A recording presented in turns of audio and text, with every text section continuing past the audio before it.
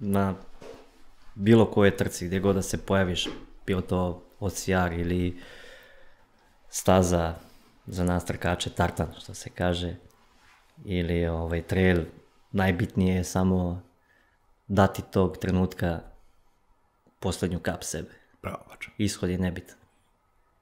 Bio prvi ili posljednji, to nije važno.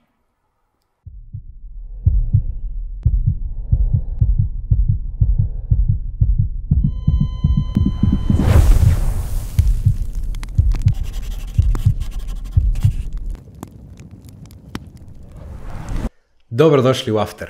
Treća epizoda najslušanijeg i uskoro najpopularnijeg podcasta na Balkanu i šire. Moje ime je Nikolić Marko ja sam vaš domaćin. Ljudi moji, ja sam ovog čoveka jurio, jurio i jurio, znači kao da jurim vetrnjače. Zovite me Don Kiho, slobodno, nikako da ga dovedem u studio. Uspeli smo. Moj današnji gost je jedna velika duša, jedan veliki starac foča od 100 ljeta koji živi u mladiću od nepunih 30 godina. Molim te, predstavi se. Pa evo, imam tu čast sada ovaj, da budem tvoj gost. Hvala ti što si me pozvao. Zadovoljstvo je moje. Ovaj, mnogi ne znaju, moje pravo ime je Miodrag, kraće me zovu Miša, a svi me znaju kao Bađa. Bađa, odakle Bađa? Bađa je iz jednog malog sela, nadoma Golubca, zove se Požeženo. I ovaj, Bađa je jedno jednostavno selsko dete koje mašta. Eto, ako može tako se kaže. A što Bađa? Samo me da pitam, odakle taj nadimak koji je jako... Meni kad kaže Bađa, ja se setim onog nabildovanog iz Popaja koji ga maltretira ceo crtač. Bađa je nadimak čovjeka koji više nije sa nama, ali to je moj deda. Ovaj, koga sam ja mnogo volio i volim ga i, i sad. On je oličenje svega onog što sam ja danas. Naravno, pored i mog oca, koga pozdravljam ovom prilikom. Bađo, uh. Tek smo počeli, brate, sad čujem, sad čuvaj, sad čuvaj neki, brate, za narednih 5-10 minuta. I ja sam znao da će ova epizoda da bude onako šok, zato sam im pustio kosu da bude što prirodnije, da budem, neću bre da se šminkam, neću da vezem kosu, znam šta me čeka. Čeka me jedan uh, roller coaster of emotion. Tačno znam šta sad sledi i znam da će da me boli duša posle ovog podcasta, ali me neće boleti bolno, boleće me ispunjeno i lepo. Bađo, ti, ja ti malo prekažem starac foča od sto ljeta. Ja sam ubeđen da taj deda živi kroz tebe. Jer ja sam ti sto puta govorio, ja te poznajem uh, ne dovoljno koliko bih ja hteo, Bože zdravlja, imaću prilike da te upoznam još više, ali uvek sam ti govorio da si mnogo mudar za svoje godine. Mnogo imaš u sebi te seljačke mudrosti, ne mislim ništa loše, već imaš u sebi tog znanja i života kao da si proživao pet, a još uvijek živiš svoj prvi. Misliš da je to zato što si možda odrastao u drugačijim uslovima od ljudi, zato što si odrastao možda na drugačijem mestu, više okružen prirodi, više okružen ti nekim porodičnim vrednostima. Šta je uopšte doprelo do tog momenta da ti budeš isklesan tako kako si isklesan? Pa znaš kako, mislim, nisam ja generalno rastao drugačije nego i ostala seoska deca. Mi, to što smo imali tada, rođen sam ovaj, 93. godine, mm -hmm. Godina inflacije. Mislim, ja ne znam za to, ali pričali su mi roditelji. Tako da osjećam da sva ta generacija tih 90. godina, pa i ja sam koji je rođen u toj nemaštini, u stvari je to taj naš plus. I da čovjek koji je navikao da nema ništa, vrlo lako može da živi bolje i da se navikne na bolje i ovaj polazna tačka mu je ništa. Tako je, tako je. I nema šta da izgubi jer je već tako izgubio. Je. Nema šta da izgubi, tako, tako je. je. Joj, Bađo, koliko ljudi, vidiš, ti si toliko skroman, ti si mi čak i rekao, ja nisam rastao ništa volio od druge seoske dece. Znaš ti koliko danas ljudi raste na selu? Ni 5%. Vrlo malo, da. I ljudi koji rastu na selu vuku neku vrstu, ne mogu da kažem čak ni vaspitanje, jer to je iznad vaspitanja, to je neki novi nivo, gde ljudi poštuju svoje roditelje za promenu, gde sine odgovara svoje majci, ne gleda oca i kaže mu, idi ti, e, neću, mrzi me i tako to. Ja sam bio klasično razmaženo dete. Do neke svoje sedme, osme godine. Idi u prodavnicu, sine Marko, što ja da idem u prodavnicu, neki ide Filip, moj mlađi brat, koji ima tri godine pritom. Što ja da idem ovde? Što ja da... Uvek sam bio neki, neki rebel, uvek sam se bunio protiv sistema i volao bi da su me tukli više. I volao mi da su me vaspitavali malo da se osetim kao da stvarno imam neke stvari, jer nisam cenio ništa. I tek kad sam počeo da gubim stvari u životu, tek sam onda shvatio, aha, pa ja sam imao sve čoveče. Vidim kako su rasli ljudi oko mene. Ja sam imao sve. Moji redlji su potrudili da sam ja imao sve i to je nešto na čemu ću biti zahvalan do kraja života. Reci mi kako je, mislim, kad si otišao iz, ti si živao na tu mestu, pretpostavljam, kao klinac, pa se doseli u Beograd ili si otišao u Beograd malo kasnije, kako je tekla ta Malo priča? kasnije, malo kasnije, da. Osnovnu školu sam završio kod mene u kraju, Mhm. tačnije u Velikom gradištu. Nakon toga sam upisao u Požarevcu smer veterinarskog tehničara. Kasnije sam upisao i veterinarski fakultet koji nažalost nisam završio, što ne znači da možda i neću. Naravno sve to potiče od toga odakle sam ja, ako kažem opet se vraćam, dete sa sela, okružen životinjama, radom sa životinjama, radom na polju. Tako da u Beogradu sam zadnjih 10 godina. U Beogradu mogu reći da sam ovaj ponovo rođen. U kom Iako, iako to zvuči smešno, da, ali ponovno rođen. Pozdravio bi ovog prilikom mog prijatelja Filipa Mihajlovića, koji mi je rekao to jednu lepu misao da čovjek ima dva rođenja. Jedan je biološki, a drugi je kad počne sebe da upoznaje. Tako da ja sam sebe upoznao delom u Beogradu, a delom i na planini. Da, da, To jest na trkama. da. Mislim da je to nešto što vezuje celu našu zajednicu. Ljudi koji smo se, ljudi koji smo se, ljudi koji su se rodili ponovo. I to u nekom skorijem periodu, jer nas vezuje ta ista emocija. Mislim da svi imamo razumevanje jedni prema drugima i otud sva ta uh, beskonačna pozitivna energija i podrška. Svi razumemo kroz šta ko prolazi i onda nam je nekako lakše da idemo zajedno kroz sve to. Nema negativne energije, nema, nema podrugivanja, nema ništa. Čisto, čisto, čisto razumevanje. Tako da slažem se s tom idemo 100%. Ljudi se rade dva puta u životu. Ja mislim da se drugi put rodio sad skorije i da sledeći put će biti smrt, tačka. Ali sve što uradim sad uradio sam i drago mi je što sam sam upoznao ljude oko mene koji su pravi ljudi. Prvi put u životu mogu da kažem da sam okružen pravim ljudima, ljudima koji cene vrednosti, koji cene život, koji cene ljubav, koji cene srce, koji cene emociju. Sve ovo do sada je bilo idemo kroz život pa kako bude. Sretnemo po tu tamo nekog stranca koji dođe, koji ti ulepša trenutak, sutra ga ne znaš. Za mesec dana opet sretneš novog stranca, preko ga ne znaš. Imam osjećaj da sad ljude koje sam upoznao unazad šest meseci, da su to neki ljudi s kojima mogu možda do kraja, ne možda, sigurno, naravno ako bude recipročno, prosto da razvijem neka prijateljstva do kraja svog života, jer to možda bude mnogo i ne, ne znam kako da, si, da ne uvredim nekoga, ali znaš kako kažu u Srbiji, e, kum je sve. Ja bi sve te ljude pokumio. Verujem. Toliko su dobri, toliko su pravi da bih ja svima rekao ti, ti, ti, ti, ti, svi da kumujete ko mene na svadbi. Jovana valjda će biti svadbi jednog dana, Jovana tebi pričam, prilikom ti se čekaš. Čovječe, 10 godina sam 10 godina s njom i nadam se da će biti neka svadba, nadam se da će tu biti 10 kumova, jer ja nisam neko ko može jednog čeka da me pozovem da bude kum, prosto to ne funkcioniš, jer volim mnogo ljudi na različite načine. Bađo, da ti ne pričam ja sad o sebi, to ćemo se čuvati za neki drugi period. Reci ti meni, kako je počela tvoja karijera, trkačka, uh, atletska, kako je sve to krenulo, kako si došao prosto do ovog momenta danas gde si neko koga u OCR zajednici, a to je trkačka zajednica, svi znaju, svi znaju ko je Bađa, svi znaju šta je Bađa uradio, od skoro svi znamo i ko je tata i doći ćemo i do tog momenta. Ajmo polako. Dobro, ovaj, pa ne mogu da ne spomenem, ja kao klinac a, u mestu odakle dolazim, mi nemamo nešto mogućnosti, ni tada nismo imali, a ni sad, da se bavimo a, širokim dijapazonom što se tiče sporta. To je bio futbal, eventualno košarka ili rukomet, mala je sredina, nerazvijena još, nažalost. Mm -hmm. Nadam se da će se to promeniti ono, u budućnosti. Ljudi rade malim koracima da to bude bolje, što je odlično. Ovaj, trenirao sam futbal kod sebe u kraju, kasnije i kroz srednju školu sam nastavio da treniram futbal. Međutim, eto, moj pokojni trener, a i profesor fizičkog vaspitanja, me na nekom od tih kroseva RTS-a spazio, kako se to kaže, i ovaj, zvao me da trčim za školu na par nekih trka. Interesantna je stvar da sam ja svoju prvu jedinicu za vreme svog školovanja zaradio iz časa fizičkog vaspitanja, jer nisam hteo da trčim cross.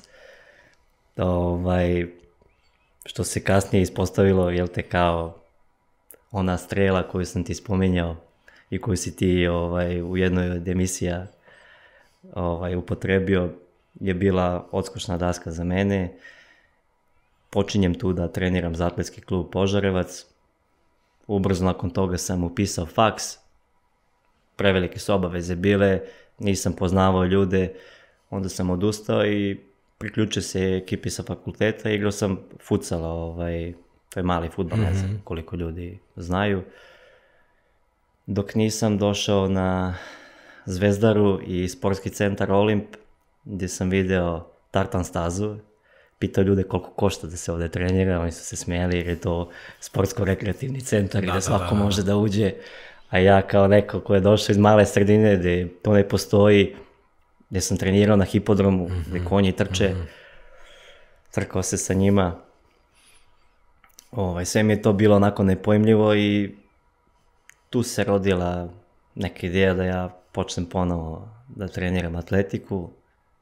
A, na istom tom Olimpu sam upoznao ljude koji su, verujte mi, možda senka Olimpa i cijele Srbije, ali to su strašni ljudi, ljudi koji treniraju godinama, koji nemaju izgovora, trening im je higijena tela, ne obaveza, ne nešto što se mora, to se podrazumeva. Ti ljudi su mi dali dodatni vetar u leđa, prve patike za trčanje sam dobio od njih, ovaj, podršku koja mi je u tom trenutku možda i najviše trebala, tako da sve je krenulo tada, Zna se ko živi na Olimpu. Samo bogovi. Tako je, tako da drago me si pronašao svoj Olimp i drago me se okružio najboljima, bogovima. Ovaj, baš smo spomenuli u jednoj epizodi bili šta znači kad se okružiš najboljima.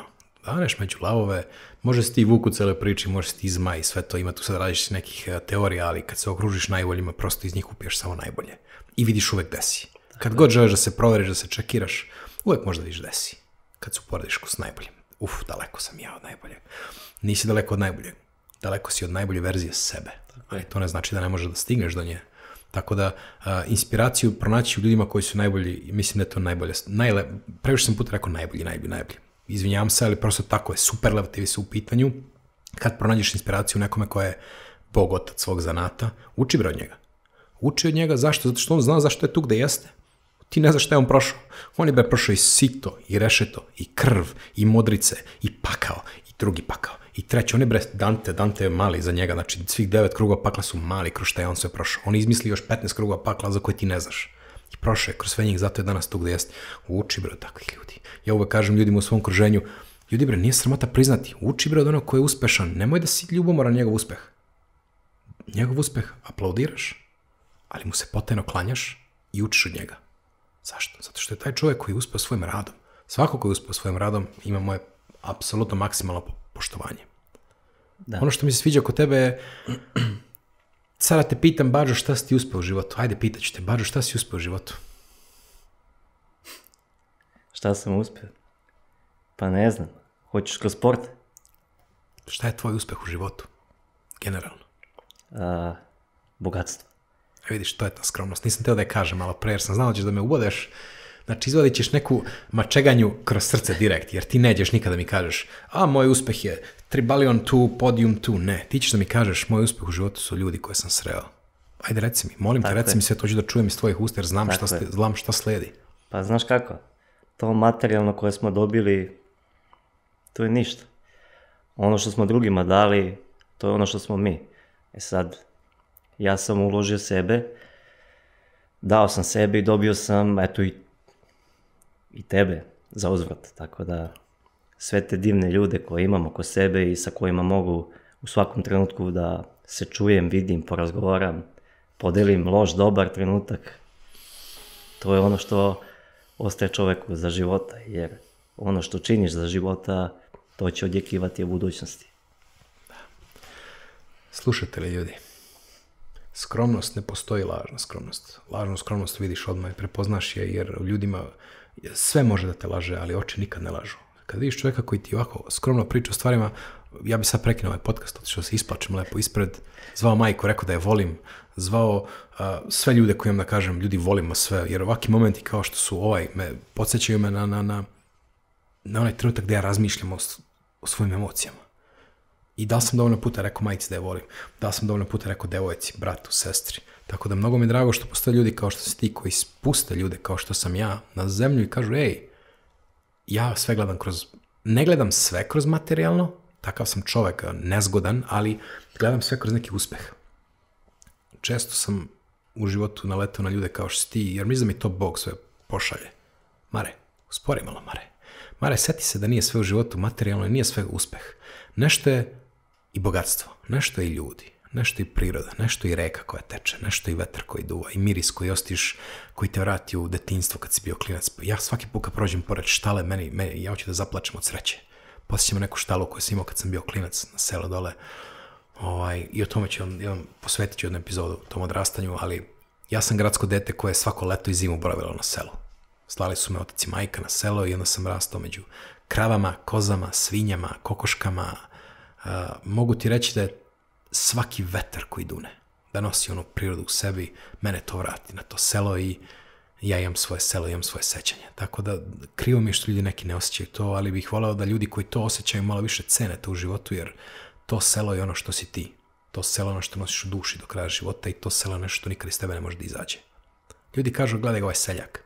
Evo da im brkaš ljude sa sela i seljake. Seljak je neko koje se ponaša kao poslednji običan seljak. Nevaspitan, nekulturan. Čovek sa sela je čovek. Jer njemu u nazivu kreće čovek sa sela.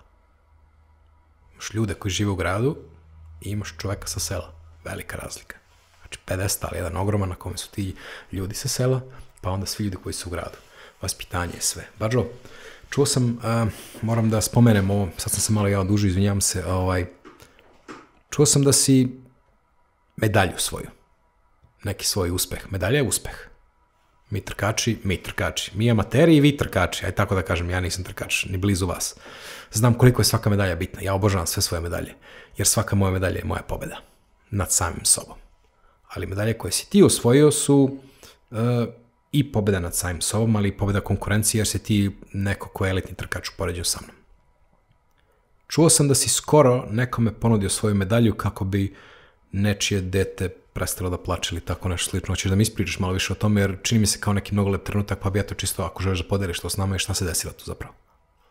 Pa dobro, generalno, mislim, ne volim da, da pričam o tim stvarima i mislim da to nije ništa specijalno, jer opet se vraćam na ono, naše je samo ono što dajemo, tu medalju, mislim da koju sam ja generalno mm -hmm. osvojio, nije ništa važnija do bilo čije druge medalje, jer kako si pomenuo, svako je uložio svoj trud, svoje vreme, neko odricanje, ne bi li je ono, na kraju trke okačio oko vrata, bio ponosan njom, bio ponosan na sebe jer je uspeo da bude danas bolji nego što je juče bio, da sve ono za šta se, jel te, trudio, se isplatilo u toj jednoj maloj medalji, parčetu Božja, koji je samo parčak Božja. A ako će to nekome možda da umiri plač ili da bude motiv ili možda inspiracija, svakako je se treba odreći, jer mi smo se samo odrekli parčeta metala. I ja medalju nosim svaku svoju u duši, a ako nekome to iskreno znači, rado ću je pokloniti uvek. Ne samo medalju, nego bilo šta drugo. Kažem opet, ja sam prve patike dobio od svoje ekipe sa Olimpa i te patike nikad neću zaboraviti. A sad ih imam možda i pet puta bolje i ajde da ne kažem i skuplje. Nisu mi važne. Joj, šta mi je trebao ovaj podcast u životu? Hoću samo da se zahvalim, hoću samo da se zahvalim majci tog deteta koja se javila dva, tri dana nakon tribeliona ovaj, jer je htjela da se zahvali na gestu. Naravno, e, njena veličina je u tome i ja sam zahvalan tim roditeljima što decu dovode u sredinu kakva je planina, u sredinu gde su sportisti, gde su tu ljudi sa nekim ciljem, sa nekim zdravim navikama, jer ovaj, kao u onoj priči kaže, kad otac vodi sine, kaže mu, sine pazi gde gadi, gaziš. On kaže, ćale, neću ja da pazim, ti vodi računa jer ja pratim tebe. Tako je isto i sa decom danas. Našom, tuđom, bilo čijom. Bravo, Mi treba da vodimo računa kako koračamo jer oni nas prate. bravo, bravo. Bravo, vidiš, decu nemaš. Ne. Edukovao si upravo a, 75% roditelja u Srbiji šire. I ljudi misle danas, zašto ja nemam decu? Zato što ja znam da trenutno ne bi bio dobar primer svom detetu. Ja znam da je to možda ekstrem, ja idem iz ekstrema u ekstrem, kao je napravit ću dete. Ako budem mogao, u trenutku kad ja budem bio neko ko može da mu pruži dobar primer u životu. Ja možda pogrešno razmišljam. Ali vidiš, ti si upravo rekao ono, što, mnogo- ono o čemu mnogo ljudi ne razmišlja. A to je da svaki pokret, svaka rečenica, svako delo jednog roditelja urezuje u to dete jedan ožiljak, drugi ožiljak, treći ožiljak. To dete sutra može da bude depresivno, zato što su mu se roditelji svađali kad je bilo malo. To dete sutra može da bude nesrećno i neispunjeno, zato što nikad nije imao ljubav roditeljsku. To dete sutra može da osvoji sve planine ovog sveta, zato što je gleda oca koji se lomi svakoga dana i majku koja lomi, pomera granice. Znači, ono što mi našoj deci ostavimo sutra, to je ceo svet. Mnogo mi je lepo što dotak ove teme, jer e, naša deca, Srbija ovo sve sluša, deca možda i ne toliko, ali slušaju roditelji. Znači, roditelji, čuli ste čoveka, nije ekspert, ali mislim da mi je upravo držao jedan e, dobar, dobar čas i dao si svima veliki domaći zadatak, a to je da malo obrati pažnju šta rade svojom decom. Neka radi svako svojom decom ko šta hoće, mi nemam pravo da se mešamo, ali bilo bi lepo da ljudi samo budu svesni toga da sve što uradiš dete gleda. Ne zaboravi to nikad. Jer roditeljstvo nije samo napraviti dete, imati dete, već i čoveče, to je tvoje dete, bre. Kakvu sliku stvaraš njemu o svetu, o sebi, o svemu oko sebe. To je ono što nosimo. Ja sam tu imao sreće, vidiš, imao sam roditelje koji su daleko od savršenih. Daleko da sam imao i lepo detinstvo, daleko da sam imao i lepo sve, ali sam imao oca koji me a, naučio da šta god život stavi pred mene, ja imam snage da to pobedim. I neke stvari, neke rečenice koje mi je rekao, podelio sam s tom u jednom navratu tu rečenicu, lako je odustati. Znaš, treba snage da nastaviš dalje. To je onako jedna rečenica koja mi je izlečila depresiju, da kažeš. To je rečenica koja je na jednoj trka, pored molitve koju ja svakodnevno izgovaram dok trčim, pitanju su ultre, je bila jedna od onih koja me gurala u trenucima kad je bilo razmišljanja da li odustati ili nastaviti dalje. Tako da hvala tebi, Mario, na, na tom poklonu. Drago me što si izvuko najbolje iz toga. Bađo, uvek uh, hvala tebi što kroz, kroz to živi ta neka uspomena i to neko sećanje i uh, kao što je otišao i tvoj deda, otišao i moj otac, otišli su i mnogi drugi ljudi, naše je to kako ćemo da ih predstavljamo drugima, naše kako ćemo da na to vaspitanje pokazujemo dalje, ta energija koju nosimo i prosto njihovo sećanje živi kroz nas, tako da njihov posljednji poklon je bio možda i najjači poklon. I to je ono što sam ja tebi rekao na početku ovog podcasta, to je starač foca od sto lječa, starac foča od sto ljeta koji živi u tvom telu i neko ko se bori i ne odustaje u mom telu. To je, to je, ta, to je taj neki bio poklon, da kažeš, od naših roditelja, njihovih roditelja i ostalo. Vidiš, ja, ja kad sam bio mali, ja dedu nisam imao. Imao sam, ali je umro u moje 15. godini. Prosto znam da zvuči glupo kad kažem nisam ga imao, nisam imao taj odnos s mojim dedom.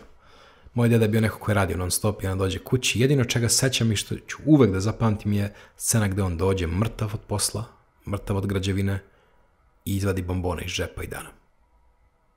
Moj deda uvek ima bombonu u svom džepu i moj deda uvek imao taj trenutak. Mi sednemo, čekamo da on jede i svi ovako cupkamo, cupkamo oko njega. Ha! I on kaže, ajde dođe da da bombonu. I mi sedemo kod njega krile, on izvadi bombonu jednu, ljubi nas obavezno i mi svi tako od nas četiri, pet unučići idemo u krug i uzimamo bombone, tako da taj neki gest, ja sam svaki dan čekao da on dođe s posla, da mi donese bombonu. Opet, bombona. Bombone, karamela od 30 dinara, 40. Ali bio Meni si su bile- dete. Bio sam dete i to mi je bio ceo svet. Bio si dete i dete koji ima čistu emociju. I to što je tvoj deda tebi tada dao, je bilo jedino što je imao kod sebe. Tako je, tako je. A vredi mnogo. Tako je. I poslednju kad mi je dao karamelu, zove me poslednje jer nikad više nije imao momente da mi da sledeću, ja imam dan danas. Dao mi je karamelu koju ja nisam htio da pojedem, ostio sam da ne treba da je pojedem, sačuvat ću je. Došli smo za Kragujevac, bili s dedom, vratili se u Niš, jer sam tad živao u Nišu 2005. godine. Prošle dve nedelje i mam je rekla, moram za Kragujevac, ded je loše, imao je srčani udar, bla, bla, bla. Ja naravno nisam konto čemu se radi, tek mi je deda u toku, tata kasnije u tog dana rekao da je da nažalost preminuo, samo je pao, srušio se. Jevi ga, to je sve život, ali ta bombona koju mi je ostavio dan danas, uh, za mene nije samo bombona. Kad god otvorim svoj noći stočić, nađem i ona je tu i ona me tu da me podsjeti da seti se, nekad si tu bombonu čekao po ceo dan. I ta bombona ti je bila sve. Tako da, to što si upravo rekao sad, ta čista emocija, bio si dete, razlog zašto treba to dete u sebi negovati, čuvati. I setiti se danas kad imaš sve, da si nekad imao ništa. Imao si ništa, po znacima navoda velikim. I bio si srećan. I bio si srećan, tako je. Ljudi danas traže sreću u novcu, u materijalnim stvarima, u... Ne. I sve može da bude sreća. Tvoje je kako gledaš na ništa. Pravo tako. Da. Tako da, je, jedan od velikih razloga zašto sam želeo da ti budeš moj gost na ovom podcastu je ja znam da ti imaš ogromnu priču. Ja znam da ti potičeš, uh, ja te poštojem jer si neko ko ima ta neka načela i to neko vaspitanje sa sela. To sam u tebi video prvog dana. Ti jesi ludak u nekim momentima, ali to je samo zato što imaš ogromnu energiju. Ludak u situaciji gde odemo na Spartana i svi kampujemo u šumi, ti u šest ujutro kreneš da kukuričeš kao petao, mi svi raspadnuti. Međutim, ti pičeš kroz kamp, ti pričaš, ti se rastežeš, ti radiš ovo, ti radiš ono i mi svi jeli bre, da li je ovaj bađan normalan? Da li je ovaj čovjek normalan, bre, pusti nas da spavamo, ajmo, ustaj vojska, idemo, kreće, hao. Tu si ludak, razumeš me, to je ta neka ludačka prirodnjačka energija. I mislim da si tu negde pronašao tu svoju ulogu prirode i društva. Kako si iskompanao prirodu i društvo i kako si uopšte spojio, čujem, baviš se nekim uh, šetnjama kroz prirodu, da, reci malo više o tome. Tako je, da. Pa ne znam koliko ovaj, smem da spomenem, ali Slobodno u pitanju je jedna divna organizacija, zovemo se Trinity Srbija. Pomenuo sam prijatelja koji se zove Filip Mihajlović, on je glavni čovjek cijelog tog projekta. Onda ću spomenuti svog prijatelja, Slobodno. dobrog prijatelja Borisa Tasića koji je glavni coach tog pilara Trinity Nature. Mi ovaj, se bavimo time da ljude vratimo prirodi, da se vratimo tim nekim osnovnim potrebama od kojih se čovjek odstranio, što zbog potražnje sreće za poslom, za boljim životom, odlaskom u veće gradove, okruženjem sa stvarima koje nam nisu po prirodi prilagodljive. Priroda je lek. Znači, mi zagovaramo tu temu, ubeđeni smo u to. Ja sam mogu da kažem da sam odličan primjer za to, Jesi. jer sam postao novi ja. Kad sam se vratio onome odakle sam i potekao. Da. Priroda je ta koja je u meni usadila tu neku energiju. Životnu energiju. Tako je, tako je, tako je. Energija je ta koja se kreće, kruži, protiče. Samo treba naći pravi ovaj izvor, a to je nesumnjivo priroda. Tako da, evo već skoro dve godine radimo, veliki broj ljudi se odaziva, imali smo i jednu akciju pošumljavanja određenih parcela, naravno u dogovoru sa Srbija šumama, jer ne možemo to da radimo na mestima gde mi hoćemo, kad hoćemo, za sve postoji procedura, određeno zemljište gde koja biljka najbolje ovaj, može da uspe, tako da pokušavamo da vratimo prirodi makar deo onog što ona nama svakodnevno daje, Bravo, bravo. a to je život. Bravo. Da, vidiš, i to je divno. Ovaj, baš sam teo da se nadovežem na to sve, ti kažem da sam a, video treneti neko od mojih kolega je negde išao nekom šetnjom i hteo sam ja da se, ajde da kažem, ne da se oprobam, ali kao da vidim kako sve to izgleda. Kako narod može da te kontaktira, kako ljudi mogu da stupe u kontakt. Znači, to nisu samo šetnje prirodom, to je više kao povezivanje na... Ljudi, Wi-Fi u kafićima, razumem, uđeš u kafić, naručiš kafu, pitaš šifru za Wi-Fi. Zamisli prebaciš to i kažeš idemo na rtanj, penjemo se uz planinu i upijemo taj Wi-Fi prirode. malo za promjenu da se nakačimo na prave stvari u životu, a ne da se kačimo po ceo dan na, na Instagrame, Facebooke, YouTube i ostale stvari. Kako ljudi mogu da stupe u kontakt s vama, kako mogu da vas kontaktiraju, da, da krenu i oni da šetaju s vama, kako to sve izgleda, daj mi ukratko neke osnovne informacije, slobodno, da kažem, promoviši se, da, hoću da čujem kako da se prijavi ljudi na to. Naravno, pa možete putem, putem Instagram profila Trinity Srbija, tamo dole u, u opisu imate mm -hmm. link za grupu Viver grupu Koraka prirodi, Koraka sebi, sve detaljne informacije vezano za svaku našu šetnju, možete tu naći, kontaktirate ili Filipa ili Borisa, zato što su -hmm. oni glavni ljudi, svi već koji mene poznaju znaju da sam tamo čovek začelja, čovjek koji vodi računa da svi jel te na kraju stignu živi, zdravi, srećni i možda sa nekom porukom tog dana. Da. Malo da što kažeš ti koraka prirodi, koraka sebi. Možda da zakorače malo ka svoje duši, da se malo otvore i da vide kad su posljednji put bili iskreni prema sebi, kad su posljednji put bili, uh, svi nosimo probleme u sebi. I neko ko je uspešan i neko ko nije uspešan, svi imaju probleme. I svi imaju te neke barijere, da kažeš. Jer često na ovom podcastu govorim mentalne barijere, uh, ostvarivanje tog svog nekog potencijalnog i maksimalnog potencijala. Znači svako u sebi ima to nešto, svako ima šansu da, da izgori i da pregori. Mnogo ljudi dođe u te prirode i kaže e, kako će sutra na poslu? A onda završe šetnju i šta kažu na kraju šetnje? Ne kažu ništa. Pun snage, bre. Ne kažu ništa jer priroda ti u datom trenutku uzme sve. Ali uzme ono što je tu trebalo da ostane. Da čovjek tek sutradan i dan nakon toga osjeti u stvari šta mu je znači taj dan u prirodi. Tek onda ukapiraš koliko je to dobro za tebe, dobro za tvoje telo, naučiš ono što ti je ona tog dana dala kao lekciju, a daje mnogo ko hoće da sluša. Prirodu samo treba slušati. A kako to učiniti?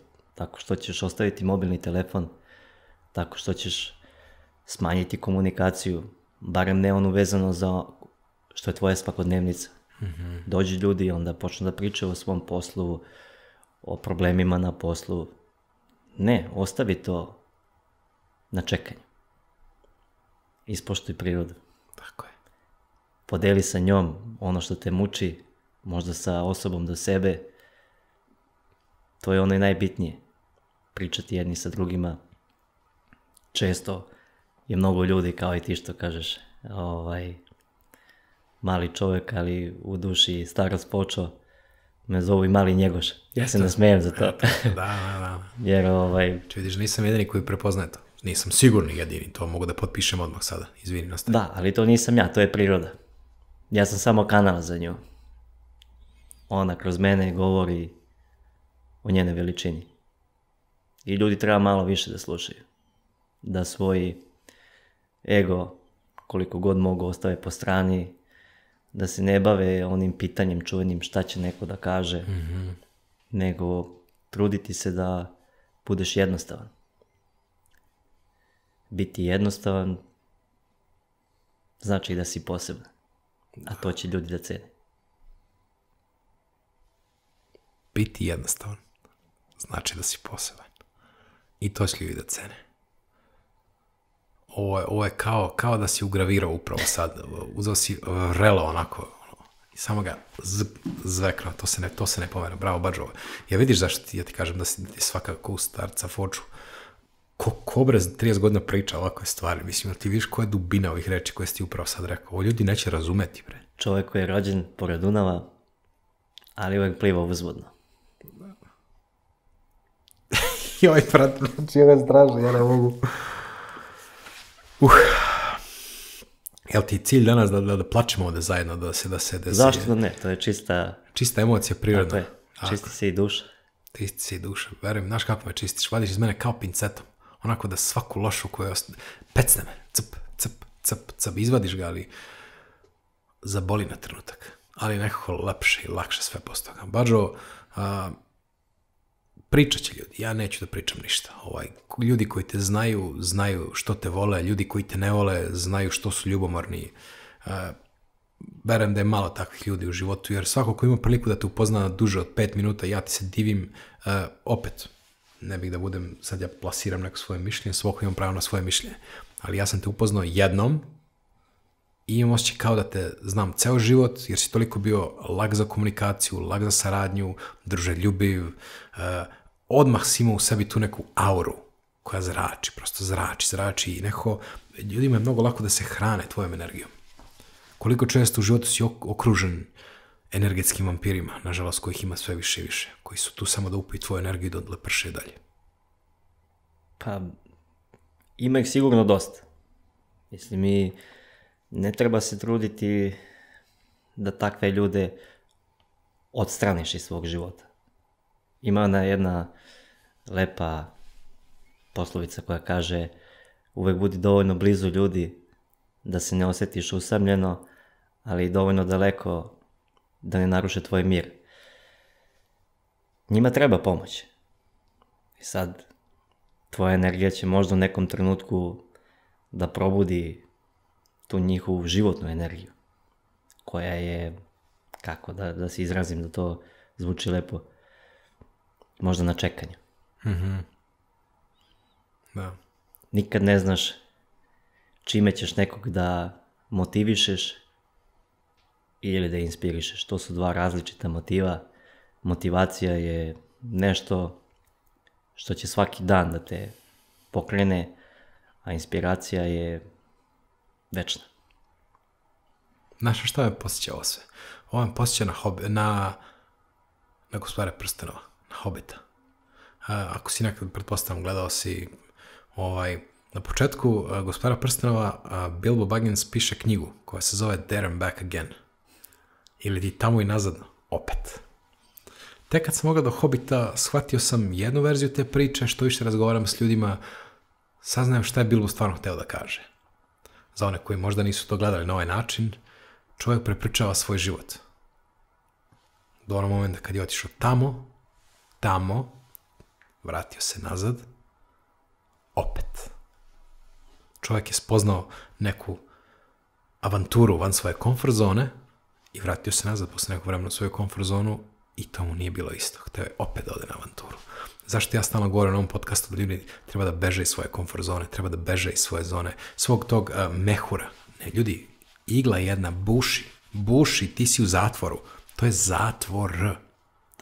Nikad nećeš živeti, nikad nećeš živeti. Ti trenutno vegetiraš, ti trenutno živiš, ne živiš. Dišeš vazduh, nisi svestan. Ideš na posao, legaš, spavaš. Nema emocija, nema ništa. Ti jedva čekaš neki vikend da kažeš jo, ide subota, sad ću se odmorima. Dođe vikend, ležiš, spavaš do 12 popodne, jedeš opet junk food, ne radiš ništa po pitanju svog života, odeš popiješ kafu na gradu i onda ponedeljka opet u krug. To nije život.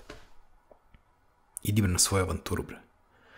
Nađi bre prsten, nosi ga u moriju, bre. Idi na svoju avanturu, bre. Odi tamo i nazad. Raširi jedar. Kako? Raširi jedra. Tako je, raširi Razni jedra. vetrovi duvaju. Jeste, do, bravo, razni vetrovi duvaju, ne treba ti vetar u leđa, samo otvori svoja krila, ponećete nešto. Jer nosi sa svih strana, samo ljudi to trebaju da osete malo. Ljudi, znam da vas ima mnogo, mnogo, uh, mnogo vas ima, stvarno mnogo vas ima. Ja sam bio jedan od vas skorije koji sam tražio razlog i tražio sam motivaciju da kažem kako, kako, gde da nađem tu snagu da poletim. Raširi jedra. Razni vetrovi duvaju. Samo treba da ih osetiš, jer priroda je tu, priroda ti daje sve što nemaš, imaš. Samo treba se okreneš oko sebe malo, jer kažeš, joj, danas nemam, imam. Okreni se, traj... ako nemaš, trajiš na pogrešnom mestu. Nakači se malo na prirodni Wi-Fi, da vidiš kako priroda zrači, da vidiš kako priroda izlači iz tebe sve ono najgore. Pa Joe, sećaš se, uh, bili smo na Spartancu, inače za ljude koji ne znaju, to je Spartan Race, uh, ultimativni OCR na svetu, jel te? Skoro je bio kod naših komšija u Hrvatskoj, Sveta nedelja, mislim da je bio jun mesec. Ili jul. Ili juli, neću da, da sad lažem, jun ili jul. Uh, bila je jedna trka, ovaj, imaju tri trke, jel te, ti si osvojio trifektu. Tako je. Za one koji ne znaju, to je tri trke u dva dana. Prvi dan je 21 km sa ogromnim brojem prepreka. Sutradan ujutro ide 12 km s preprekama, pa 6 km s preprekama, odmah trka za trkom. Da bi sve tri trke prešao, moraš da budeš fizički spreman, ne daj Bože, da bi ostvario dobar rezultat, moraš da budeš bog nad bogovima ili da se drviš sa društvom s Olimpa. Naš Bađa je, mislim da je bila u pitanju druga trka, 12 km.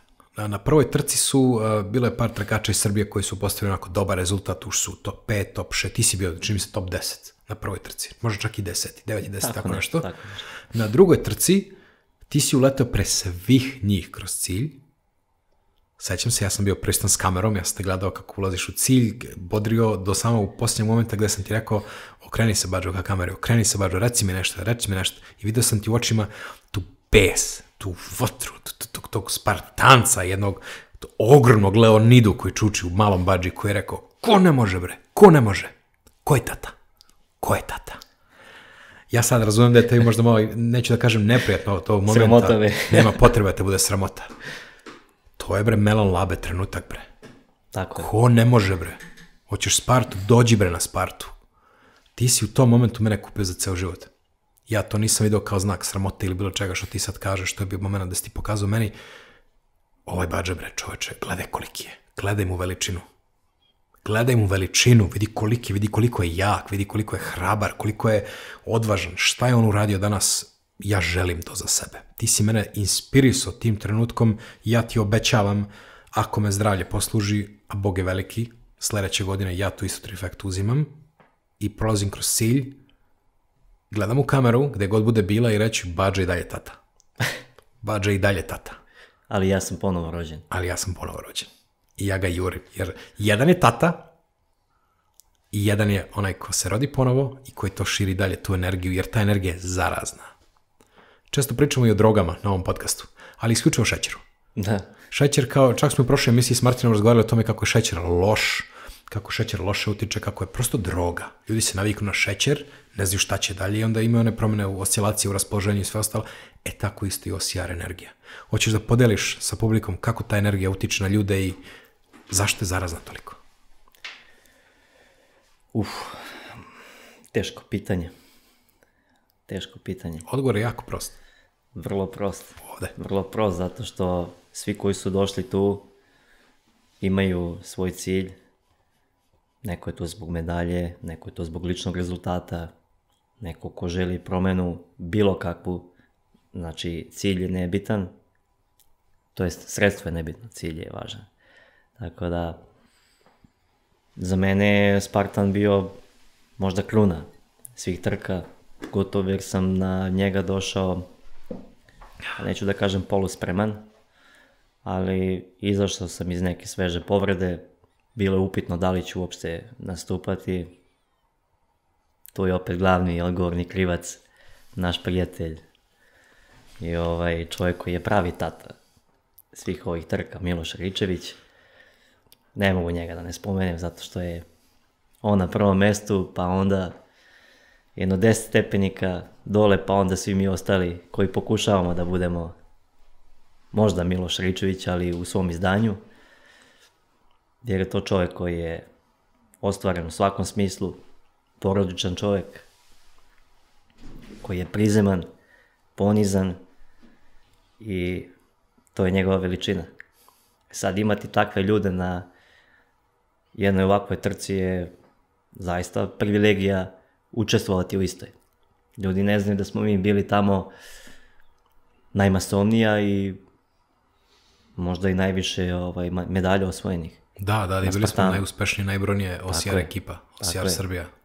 Jedna Srbija koja ima stanovnika koliko ima, on, takmičara koji se bave ovom disciplinom, mnogi ljudi ne znaju za, mm -hmm. za OCR.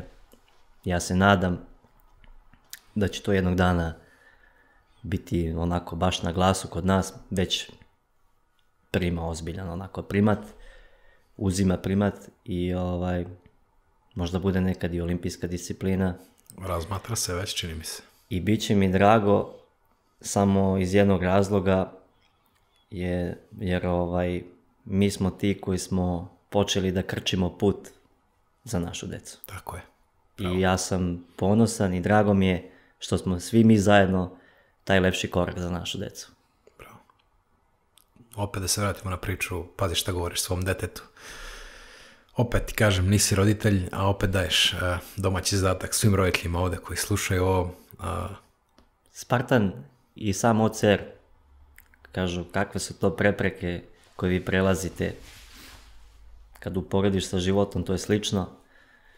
I mogu samo jedno da kažem, koliko god da je prepreka visoka, ti skoči više. Da, skočiš. Koliko god da je visok zid. Mene su često pitali na, na, na, Instagramu, pošli ljudi vide slike, vide sve, vide jednog debelog malo koji se bori, koji je blatnjav, kome duša napustila telo, on trči, umire. Ja izgledam, posle svake trke moje slike su užasne. Ja izgledam kao da me neko prebio. Kao da me neko prebio, došao, izgazio me, pa me prebio ponovo i ja plačem, ne znam šta ću od života. I ljudi mi kažu kao, kako si uspeo, šta si uradio? Ja kažem, ljudi, ja nisam uspeo, ja samo nisam odustao. Ja sam daleko od uspeha. Ja sam danas napravio mali korak, a to je izašao iz svoje zone komfora opet, proklete, i pobedio sebe. Ja sledeće godine dolazim ponovo, ali kako ti ideš tamo da trčiš ljudima koji su profi trkači? Ali vidiš, tu grešiš. Ja trčim sa njima, ne protiv njih. Ja sa njima trčim protiv sebe. Jer u njima vidim inspiraciju da sebe pobedim. Iz godine u godinu se vraćam na sve trke, idem iz početka i ponovo, ponovo, ponovo. Jer ja pobeđujem sebe uz pomoć tih ljudi. I mislim da je privilegija reći to što imam te ljude na raspolaganju. Ljudi ne razumeju koliko je, to, koliko je to bitno i koliko je to sve trenutno, jer kad radiš nešto što voliš i pronaši sebe u tome, pre privilegija imati te ljude na raspolaganju. Ja ovim putem želim da se zahvalim svima, uključujući i tebe, od Miloša, od Sanje, od Nikole Vučkovića, od Lugića, nadalje od Crnogoraca, od Mnogo Balše, ih je, mnogo ih je. Martin Goga, znači to su sve ljudi s kojima sam ja non stop u komunikaciji, koje obožavam, koji mi daju veter u leđe non stop, koji podržavaju sve što radim. Bravo, bravo, bravo. Ljudi koji vide tvoj progres, ljudi koji vide, ma i da nije progres, i kad ideš unazad, oni ti kažu bravo, brate, samo nastavi, ne odustaje, brate, bit će bolje, bit će bolje, bit će bolje. I mogu ti reći iz trke u trku, slike sve lepše i lepše. Vidim novog dečkića. Vidim novog dečkića, znači tu su neke frizurice, nešto, ali vidim telo. Drugačije telo. Vidim lice, drugačije lice. Pogled. Pogled. Pre ga nije bilo, pre gleda nešto kao izgubljeno, sad gleda pun snage i života, kad će sledeća trka, ajmo opet. Boli na sve strane, ali sad boli drugačije. Morat ću opet da se ovaj, nadovežem za ono ko je tata, ovaj, pošto kad sam imao tu povredu, jedan od ljudi koji mi je pomagao u zalečenju ili izlečenju iste, mi je rekao da na jednu trku ne idem. Mm -hmm. Ja sam se nasmeo, nasmeo se i on. I rekao, znam šta sledi, jel moraš? Kažem, ne radi se o tome da li ja nešto moram ili ne moram, nego da li hoću ili neću. Tako je. Ja to hoću. Tako je. Otišao sam na tu trku, ne znam kako, ali ja sam bio na postolju na toj trci. Bravo. Na šta mi je on rekao da danas sam ja bio čovjek koji je snagom svog uma prkosio prirodi. Tako je. I hoću da i ostale ljude nateram da tako razmišljaju za šta god da se ono za života upute, da žele da rade, um caruje, snaga klade valje. I to se ne dovodi u pitanje. Tako je, nikada, nikada. Ne postoji, ne može, neću, ne mogu, nego samo dajte da vidimo na koji ćemo način to da prebrodimo i da uspemo. Tako je, Bađe, tako je. To je ono što stalno promovišemo, svi zdravu energiju, fokus na cilj, uh, otvaranje svojih mentalnih barijera i skok u nepoznato. Jer svaki taj skok, ljudi danas igraju igrice, pa igraju one ninja, one Assassin's Creedovi, kao da on skoči s vrha zgrada i padne u žbun. Padne u žbun i preživi, on ne vidi šta je dole, on skoči. Take a leap of faith, što bi rekli amerikanci. Ti ne znaš šta je s druge strane. Svaki put je s druge strane bilo nešto vrhunsko vrhunsko iskustvo pre svega. Možda se to tebi nije dopalo pa se vratiš na svoju stazu, ali si doživao neke nove katarze, neko novo prosvetljenje, ti si upoznao drugu stranu života. A, kažu da je život s druge strane lepši. A, ima, onaj, ima ona jedna emisija gde je Will Smith rekao da je najbolja stvar u životu desila se u momentu kad je skočio iz padobrana, kad je pobedio svoj strah od letenja i svoj strah od a, visine. Rekao je, najlepše stvari u životu se dešavaju sa druge strane straha. Tako je. Ima ona čuvena rečenica. Kad prestanete da se plašite, znaćete da uživate. E, baš tako. Da. A da bi prestao da se plašiš, moraš da skočiš. Tako je. Moraš da suočiš svojim strahom. Zid jedan veliki na Tribalionu, onaj A zid veliki. I nisi sam. Nikad. Da, da, da, apsolutno nisi nikad sam. Uh, najveći zid, ja se plašim visine, užasno. Ima zid na Tribalionu koji je na prilike visine 4 do 5 metra. Svaki put kad sam prebacivo noge preko, mene je bilo strah da unutra ne propadnem, vidim da je unutra veliki raspon između onih greda, paraliza. Paraliza, prvi tribalion, druga trka, Spartanac, paraliza. Međutim, u tom momentu ja se setim i svih razgovora i ove sad izjave koje je rekao Will Smith i sve, koje sam ja čuo, je neko možda rekao i pre njega, sam njega čuo, bože, prosti, ali najlepše stvari u životu su s druge strane straha. Mrdni tu nogu, preskoči taj zid. Eno ga cilj. Eno ga cilj, preskoči tu prepreku, idemo u cilj. I noga sama krene. Nema straha, ja ne gledam više dole, ne postoji, prosto sve se nekako izjednači, preskočim, idem dalje. Ljudi koji to trče kao ti, ti verovatno to ne vidiš, jer si preskočio hiljadu zidova i ono, ti to radiš brzo, ti to radiš što brže, što pre, ali verujem da je u početku bilo naš, nije mi sve jedno. Nije mi sve jedno. Svako je naišao na svoj zid, ti si verovatno procesom repeticije, procesom gutanja tih zidova ovako, došao do tog stadijuma gde prosto, znaš, ja sad uživam. Tako da želim ja da uživam u svemu tome, želim ja da progutam taj strah i želim da svi ljudi koji gledaju ovo i koji se raspituju za trke u Srbiji, uh, OCR-ovi, Obstacle Course Racing, Skyrunning, trčanje po planinova, trailovi, nije to samo trka ljudi. Ti dođeš, ti pobediš sebe, ne odustaneš. Jer ako kreneš da odustaješ na trci, srešćete neko oko i reći ti, ajmo brate, šta radiš to? Šta radiš to? Treba li ti pomoć? Treba li ti pomoć? Šta radiš to? Ajmo, brate, možeš ti to. Ja sam Miloš Rajčević upoznan na svojoj prvoj trci, prošle godine na Tribalijonu. Ja sam trčao uh, green, on je trčao challenge, on je trčao 21, ja 12. On je mene stigao na 2 km pred cilja, ja sam, ja sam se vukao. Ja sam išao i udarao svoju nogu, jer sam bio 20 kila teži, nespreman skroz, najveća greška u mom životu, ali i najbolja. Udaram u svoju nogu da mi se mišići odgrče, da krenem i vučem nogu. I u tom trenutku prolazi neki lik pored mene, okreće se i kaže, Ajmo, brate, ajmo, ajmo, matori, ajmo, vidim da možeš, vidim ti u očima, gazi, grizi, grizi. I ja posle dolazim kroz cilj, kroz neki sat vremena i vidim njega penje se na postolje. Preko, ovaj čovjek, ovaj čovjek je pričao sa mnom. Ovaj čovjek mi se obratio. I prelazim da mu kažem, rekao, brate, hvala ti puno. I kaže, brate, legendu, kaže, bravo, kaže, bravo, sad, sad, ovog momenta se služio poštovanje. Ja sam znao da ti možeš, ja sam znao sve, bravo, brate, ti, tebi bravo, ti si danas napravio veliko i kaže, ja, mene za ovo poslije ništa, ja to kaže, radim stalno, ja trenujem 30 godina, tebi bravo. I sve ostalo je after. Tako je. Koji je tvoj after trenutak? Uf. Ajmo. Ima ih mnogo, znaš tačno koji je taj jedan. Pa taj jedan kad sam ovaj... Kad sam ja možda spakovao svoj ego u džep. Bio je prošle godine na prvoj trci u planinskoj ligi nebeski kotlovi su u pitanju, mm -hmm. Kosjerić, staza 33 km, solidne visinske razlike. Ja sam došao tu kao bađa, kao neko ko očekuje da će biti na postolju, jer te, ne da nisam poštovao a, svoju konkurenciju, daleko od toga, ali moj mindset je takav da ja kad startujem trku, ne postoji neko ko je bolji od mene. Da. Ja sam u tom trenutku najbolji i uvek sam očekivao najviše i najbolje od sebe. Prvi put sam zaplakao na toj trci. Na 30. kilometru, u grčevima, što ti kažeš, u momentu kad vidim da postolje mi odlazi, bit ću možda i poslednji, ne znam da ću završiti trku uopšte. Ja ukapiram koliko sam ja u stvari slab, koliko smo svi mi tu jednaki i da je samo pitanje možda sreće ko će se tog trenutka naći na, na postolju. Počeo sam malo više da poštujem prirodu, sebe i to je trenutak kad ja počinjem da se rađam, da obzerviram, da slušam, da dam savet, da pomognem trkaču više nego što sam to ranije radio, jer nisam neko ko voli da se eksponira, da namećem svoje mišljenje, ali sad sam onako baš rad da to sa ljudima podelim. Bravo, Bađo. To na je... teži način sam naučio, ali zahvalan sam na tome. Mislim da svi uče na to na teži način, jer moraš da se suočiš sa sobom, sa onom zlom verzijom sebe koja ti kaže stani gde ćeš.